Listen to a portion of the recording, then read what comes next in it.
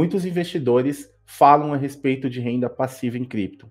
De fato, pode ser uma estratégia interessante para a otimização do seu capital. Porém, existem algumas dificuldades e pegadinhas nesse processo. No vídeo de hoje eu vou apresentar seis técnicas que você pode utilizar para maximizar os ganhos com o seu portfólio de cripto. Bora pro vídeo?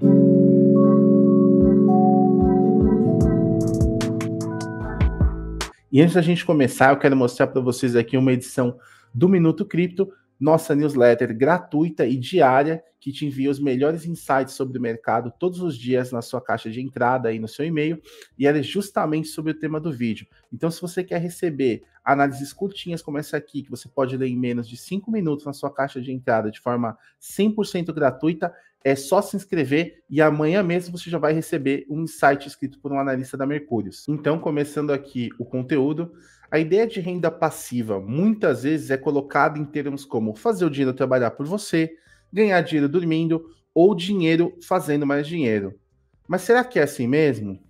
Não é. É preciso cuidado na hora de pensar em renda passiva.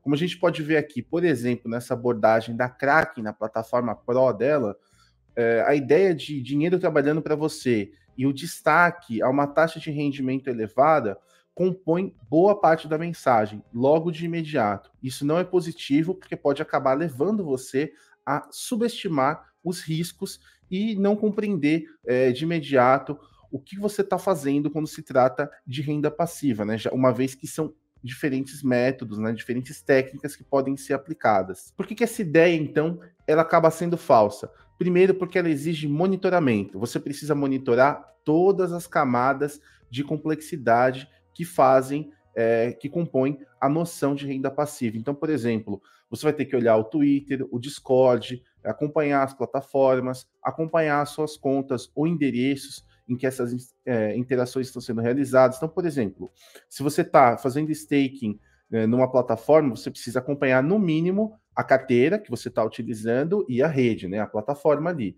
Se você está fazendo alguma interação com um aplicativo descentralizado, você vai ter que acompanhar a carteira, a rede, o aplicativo, né? Se, o, se você está envolvendo contratos, por exemplo, em provimento de liquidez, então você vai ter que acompanhar cada um dos contratos envolvidos. Se for na balance, ele tiver oito, oito ativos compondo aquele, aquele provimento de liquidez, então você vai ter que acompanhar oito contratos para ter certeza de que nenhum deles vai, por exemplo, puxar o seu tapete e deixar você com um prejuízo na mão. Então, por isso essa ideia é falsa, porque ela não é passiva. A renda é possível, claro, obter esse tipo de rendimento em cripto, mas não com passividade, né? Por quê? Porque a gente tem um mercado muito novo ainda. E para piorar, como eu falei agora, né, você pega e olha, por exemplo, para uma Kraken, falando em 25% ao ano, você talvez não imagine que o ativo provavelmente é muito inflacionário, pode não ter uma política muito legal, né? Emitir muito token, fazer um incentivo inorgânico demais, depois o mercado vai ficar inundado de, de moedas ou de tokens que vão ser vendidos, né? E você vai fazer o quê com essa, com essa recompensa de 25%? Você não vai fazer nada, porque ela talvez se traduza até em menos de 1% ao ano, como acontece com alguns ativos hoje de corretoras descentralizadas. Em outras palavras, renda passiva em cripto não é como utilizar uma caderneta de poupança, tá? A gente não está falando de poupança aqui. Algumas corretoras usam termos como savings, né? Como é, conta bloqueada de rendimentos, termos desse tipo pode esquecer, tá? Isso não tem nada a ver com renda passiva em cripto. Não lembra uma caderneta de poupança porque tem um apetite a risco muito maior, né? O, investidor tem que ter um apetite a risco muito maior quando se envolve com esse tipo de estratégia. Então não tem nada a ver com poupança, tá? Você pode perder dinheiro, é muito diferente da poupança em que talvez você só perca, é, principalmente no Brasil, né? Você só vai perder para a inflação. Mas é muito pior em cripto. Você pode perder para a inflação do token e ainda sofrer uma série de outros problemas, outros riscos aí, muitas vezes sem ter noção do que está acontecendo no, no, nos bastidores, né? Então, por exemplo, aqui, é, no passado eu já fiz staking de Tesos e percebi que o validador, né, que na tese é chamado de Baker, né, que o Baker da Everstake não estava se comportando corretamente. Isso se traduz é, numa recompensa menor para mim que estou fazendo a delegação. Então eu tive que fazer o quê? Entrar no canal de suporte e falar com alguém para então a Everstake tomar uma providência, né? Que ela deveria fazer isso automaticamente, ela que deveria monitorar, não eu. Mas como eu já sei do que se trata, eu vou, abro o explorador de blocos e faço esse trabalho de vez em quando. Então, por exemplo, a mesma coisa aconteceu com Cardano. Eu percebi que a recompensa caiu muito para cerca de 2%, quando deveria ser mais ou menos o dobro disso, até 5%. O que, eu tive que fazer? De novo, tive que falar com o suporte da Everstake. Nesse caso, eu estava fazendo pela Exodus, então não tinha como escolher é, como que eu ia fazer esse staking aqui. Tá? Então, é muito importante você conhecer os mecanismos de acompanhamento para poder cobrar o provedor que você está utilizando, né? Mas eu já vou falar de staking em seguida, tá? Para começar, a gente vai ter seis técnicas aqui. Então, staking on-chain, liquid staking, lending, liquidity providing, yield farming e yield aggregator. Então, a gente vai falar dessas seis, começando pelo staking on-chain, que seria a vinculação dentro da cadeia, ou seja, você vai vincular os ativos diretamente na blockchain, tá?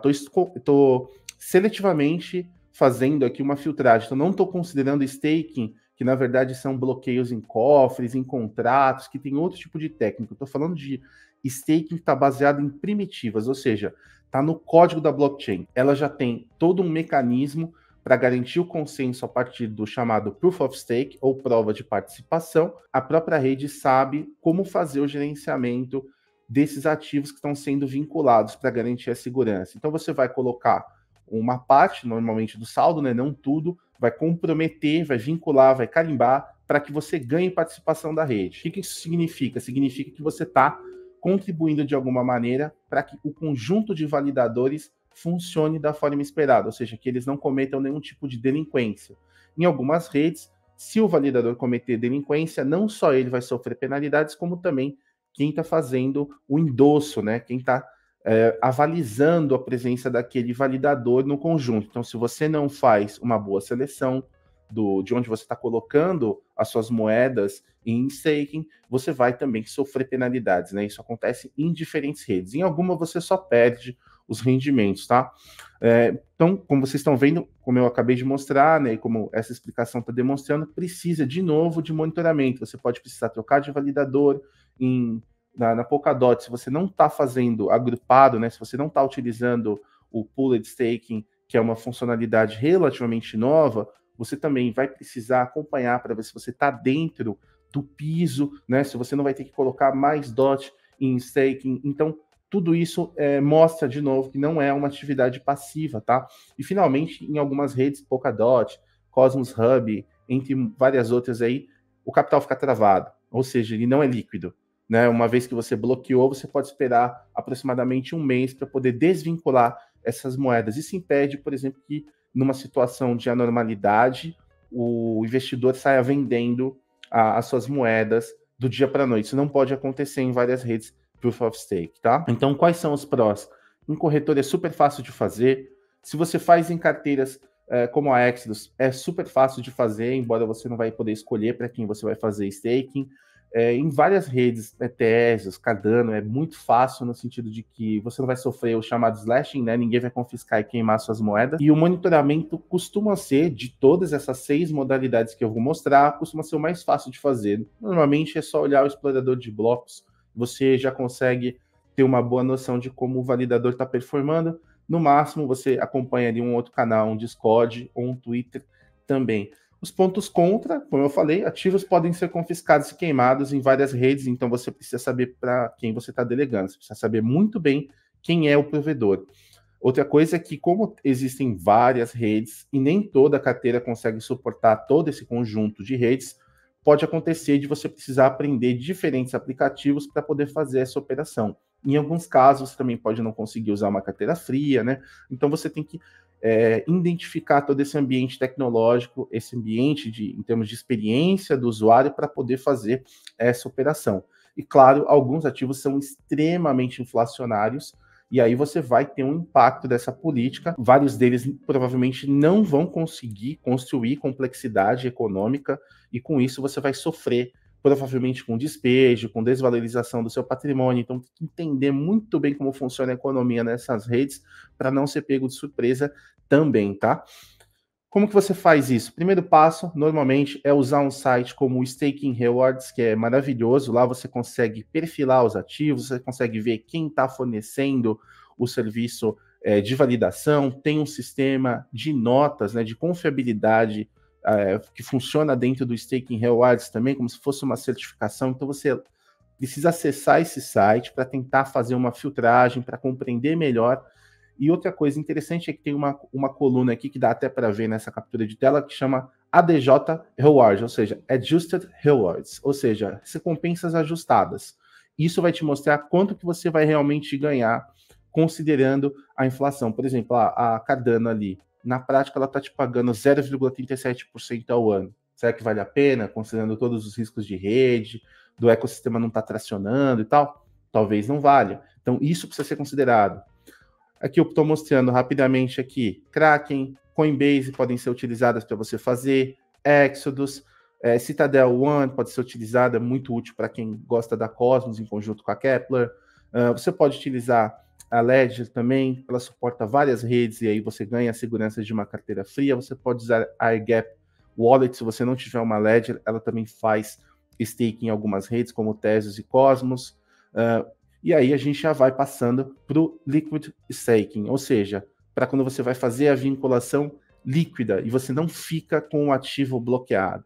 Né? Na Ethereum, essa modalidade foi popularizada, né, porque o sistema de Proof of Stake da Ethereum é bastante limitado em termos de primitivas, então ele não tem essa funcionalidade nativa, e foi isso que impulsionou, uh, por exemplo, Lido, Rocket Pool, Anchor e outros nomes do mercado a oferecerem o serviço para reduzir a barreira de entrada de quem quer participar do consenso da Ethereum, que é a maior rede uh, Proof of Stake que nós temos. Ela também é uma alternativa em redes que têm é, é, que são mais amigáveis para você fazer a vinculação, mas que impõem bloqueios. Então, são a, a, é, casos, por exemplo, como da Polkadot e de todas as redes baseadas no Cosmos Hub, não só é, não só o Cosmos Hub, né? Todas as redes baseadas no Cosmos SDK, né? No kit de desenvolvimento da Cosmos. E aí entram é, redes especializadas, né? Para chains como a Kala ou Bifrost, ou zonas da Cosmos como Quicksilver e, e Stride, para você poder fazer essa operação. Então, são operações em que você coloca os ativos em staking de forma intermediada e esse cara que está no meio de campo vai te fornecer um derivativo que permite não só você resgatar o original mais as recompensas, como também fazer movimentações, negociações, se você precisa de liquidez, usar DeFi, então você ganha ali um pouco de respiro para poder trabalhar com esse dinheiro que está participando do consenso. O como, é justamente essa destrava de liquidez, então você consegue interagir com o DeFi. Agora, pode ter também, é, como um, benefício indireto aí, que você vai conseguir fazer sem, com menos barreiras, como eu falei, no caso de redes como a Ethereum, por exemplo. O conto é que na Ethereum ainda é muito caro, então facilmente a taxa passa de 100 reais e com isso você precisa calcular corretamente, né? Se vai realmente valer a pena, o, o, se o ganho vai ultrapassar com uma margem legal a taxa. Você vai ter riscos programáticos, então, para chains, zonas e contratos precisam ser escritos com muito rigor. A Lido, por exemplo, nessa última bateria da última versão, fez nove auditorias, então isso mostra a criticidade que a gente está chegando nesse mercado, né? E finalmente, principalmente na Ethereum, tem um, uma crítica muito grande que algumas pessoas enxergam um risco de centralização ou de ter um escrutínio que não seja é, não seja saudável né, para a descentralização da rede, já que a Lido, por exemplo, ela vai permissionar um conjunto de validadores, né, como se fosse uma grande piscina ali para que você possa fazer uh, o depósito dos ativos que vão ser colocados em stake. Né? Então, isso é um, objeto de crítica e você precisa entender muito bem se faz sentido ou não dentro de como você encara filosoficamente o mercado cripto. Como que você faz, então? Pode ser usando, então, Lido, Rocket Pool, pode ser via Kala, Bifrost, é, via Quicksilver, via Stride. Então aqui dá até para ver algumas das opções aí. É, a gente percebe, por exemplo, que a Evmos teve um problema sério recentemente, está pagando 94%, quase 95% ao ano. Não preciso nem falar que isso é uma péssima ideia, né, gente? Então precisa compreender essas coisas. Próximo, lending, ou seja, empréstimo. Basicamente, aqui você vai disponibilizar ativos para que outros contraiam empréstimos com garantia. Então, você está emprestando, você está, de certa forma, provendo liquidez, só que é um mercado de crédito e não é, um mercado que você está formando para que as pessoas possam fazer trocas de forma automatizada, como a gente vai ver depois, né? Então, com isso, você é recompensado com parte dos juros que o cara que está pegando dinheiro vai pagar, né? Tudo isso mediado normalmente por um contrato inteligente. E é aí que entram plataformas, por exemplo, como Aave e Compound. Agora, quais são os prós? Os prós é que pessoas que têm uma, uma capacidade mais avançada de estruturar estratégias podem, por exemplo, se alavancar, né, sem precisar utilizar uma corretora centralizada. Isso pode ser muito interessante, né? O risco de calote também é mitigado em plataformas como a Aave, né, que tem um safety module, um módulo de segurança, justamente para evitar a contração de uma dívida podre, assim, porque alguém utilizou um flash bot ali, um flash loan, né, fez um empréstimo relâmpago para tentar prejudicar a plataforma, então esse tipo de coisa pode ser mitigada, né? É, e isso é muito, é muito bom, né?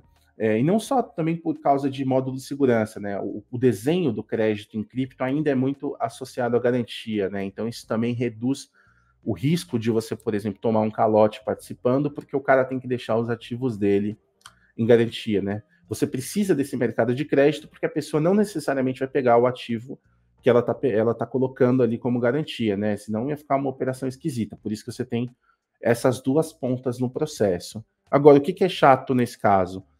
Se for na Ethereum, provavelmente é caro. Então, se você vai estruturar uma estratégia complexa, precisa saber muito bem o que você está fazendo.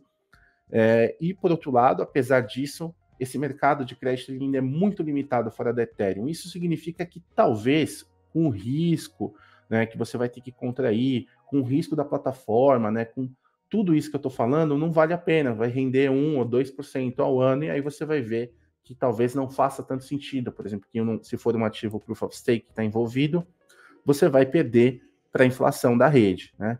E claro, além dos riscos programáticos, você tem a questão da opacidade, né, da obscuridade das plataformas centralizadas, né, que não é o caso da Aave, mas é o caso do passado que a gente viu de Celsius, é, BlockFi e outros nomes. Né? Então, como que você pode fazer? De preferência, usando um aplicativo descentralizado, porque tem uma transparência maior, como é o caso da Aave e da Compound, ou você pode evitar né, e plataformas como o Nexo e o Hodler, que embora não tenham quebrado, ainda assim não são tão transparentes, não tem uma transparência on-chain como uma Aave. Então, se possível, permaneça em aplicativos descentralizados com boa reputação.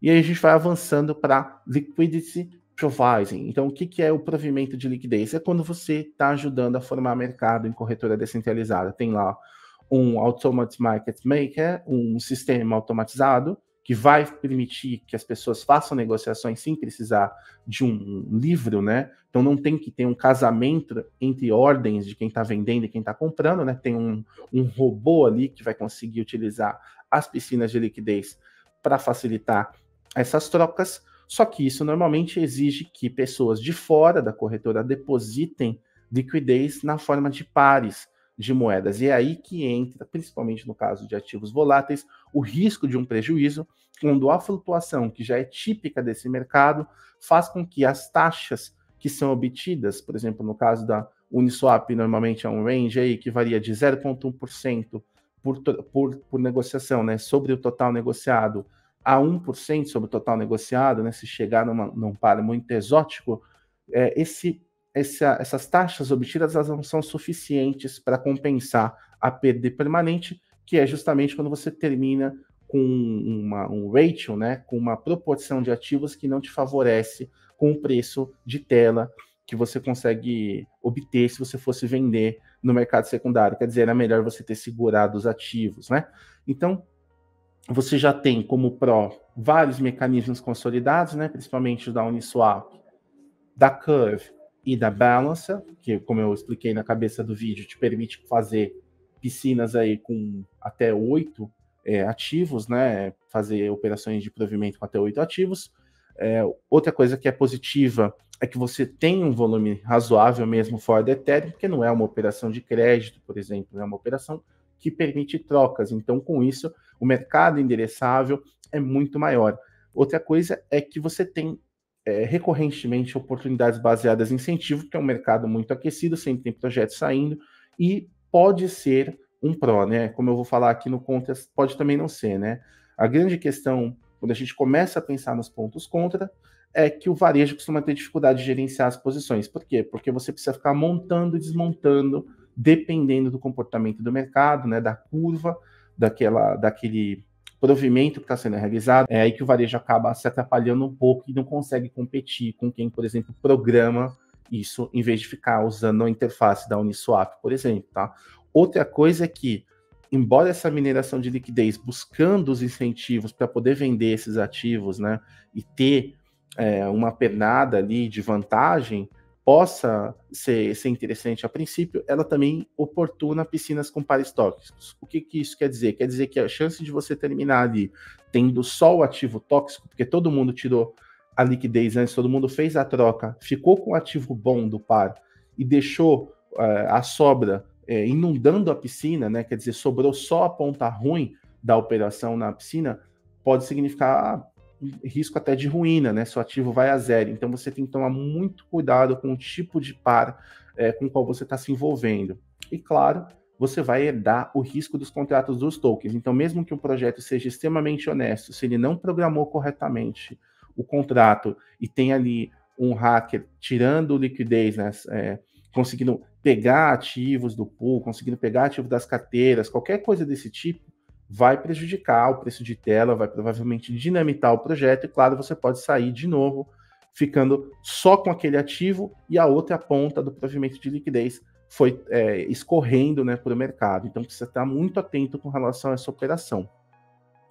Normalmente ela é feita na corretora descentralizada, na, na, qual você acredita que vai ter o volume suficiente, né, para não te dar a perda impermanente, para você ganhar com as taxas. Então, a Uniswap costuma ser uma das primeiras é, escolhidas para esse tipo de operação. Tem também a Curve, né, que é originalmente especializada em pares estáveis. Uh, e aí tem a Balancer, que vai te permitir umas estratégias um pouco mais complexas, é um tipo de pools mais complexos, tá? E a nossa penúltima opção de de estratégia é basicamente uma combinação das anteriores. Então você vai fazer operações encadeadas de forma a tentar extrair o máximo rendimento possível. Por isso que yield farming se traduz muitas vezes como cultivo de rendimento ou agricultura de rendimento, porque você precisa ficar plantando e fazendo a colheita, fazendo o plantio novamente, tudo de forma muito manual. Então, por exemplo, você tem dois Ether, você vai utilizar um para pegar o RTH usando o Rocket Pool, quer dizer, você vai tentar ganhar é, os rendimentos do staking que é feito pela piscina gerenciada por esse aplicativo. Com esse sintético, com esse é, derivativo que você vai obter, você vai poder pegar um empréstimo na AVE e com o Ether que você obteve a partir desse empréstimo, né, o que utilizou o RETH como garantia, sem deixar de perder os rendimentos, você vai ainda obter um rendimento extra na Lido, tá? Isso assumindo, claro, que as taxas vão fechar a conta e que você está confortável com essa escada aí, com toda essa, essa alavancagem. Outro exemplo é, vamos supor que você tem três é, ETHs, tem três Ethers, então você vai pegar dois, né? Você vai depositar o primeiro na Lido, vai obter o sintético, né, vai obter o derivativo. Com isso, você consegue depositar na Curve, junto com o ETH.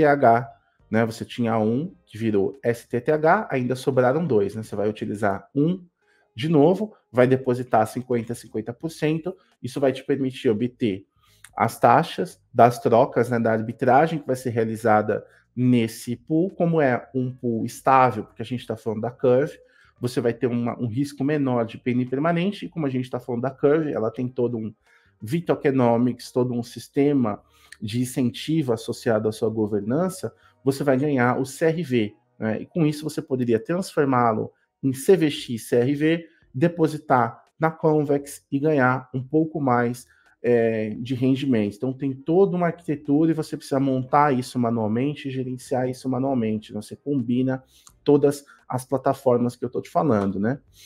Agora, como Pro, vai te ampliar os horizontes, porque você vai ter uma série de estratégias possíveis. Outra coisa é que você é, passa a ter liberdade para construir estratégias com uma série de variações. Né? Então você não fica preso a uma única estratégia. Né? Isso é muito bom. Você tem esse horizonte e você vai ter essa permissividade aí para você construir as estratégias. Agora, contra, de novo, vários riscos programáticos, né? Várias plataformas são basicamente programas de computador, então você tem que acreditar que não vai ter nenhuma falha crítica ali. Como já deve ter sido perceptível, tem uma certa dose de complexidade e você precisa ficar é, gerenciando e monitorando para que todas as, as partes da estratégia estejam funcionando muito bem, né? Não, nada quebre e acabe é, derrubando aí toda a sua estratégia com prejuízos, né? E finalmente a gente chega na última, que é o Wild Aggregator. Então você vai fazer uma agregação de rendimento. Isso é, se traduz num programa, de novo, num aplicativo descentralizado que vai tentar otimizar ou automatizar esse processo de cultivo. Isso é, se vai se traduzir em menor complexidade e menor necessidade de você ficar encadeando essas operações manualmente. Normalmente as estratégias são mais simplificadas, mas elas ficam é, se forem bem montadas, né, se tiver uma, uma, uma, um apetite de risco ok, elas ficam num meio termo confortável, vamos colocar dessa forma, né? Isso também significa que é útil para minerar liquidez quando, é, quando há incentivo, porque esses agregadores tendem a fazer alguns filtros, tendem a ser um pouco res, mais responsáveis do que um investidor, pessoa física, que não tem muita ideia do que está acontecendo. Então, de novo, pode ser um meio termo interessante, tá? Então, vamos supor que lançaram uma rede nova, que eu vou chamar de New Chain, e lançaram um fork da Uniswap nela, que eu vou chamar de New Swap. E aí, os dois emitem né, seus tokens aí, o token nativo ou moeda da rede, que é o, o NIL-C, e o token da DEC, que é o NSWP. Então, esse agregador ele vai fazer automação do depósito, quando você vai prover liquidez, ele vai coletar as recompensas, as taxas, ele vai reinvesti-las, né? Ele ainda vai fazer o travamento desse token da, da DEX para fazer, é, para ganhar, de novo, as recompensas, porque você está travando ele num cofre, então significa que você não vai vender, né? Então, ele está capturando uma série de incentivos e está ajudando você a compor, ou seja, você está tendo ganhos sobre ganhos sem precisar gerenciar isso manualmente. Então, você está fazendo duas composições nesse exemplo hipotético que eu coloquei aqui. Os prós é que, como eu estava explicando, vai reduzir a sua sobrecarga, você vai ter que gerenciar e monitorar menos. Normalmente reduz a barreira de entrada e facilita a composição para você ter os ganhos sobre ganhos. Entre os contras, é, é, o primeiro que eu destacaria é que você pode ter ainda mais riscos em termos programáticos, justamente porque você tem vários tipos de contratos envolvidos e principalmente você tem que ter um agregador que está muito bem montado para que ele não possa ser a, a principal superfície de ataque é, para que atores maliciosos tentem extrair os fundos ali. É, e claro que Outra questão, principalmente se o agregador não tiver muita transparência, é que se ele está fazendo uma estratégia complexa, talvez isso não fique imediatamente óbvio.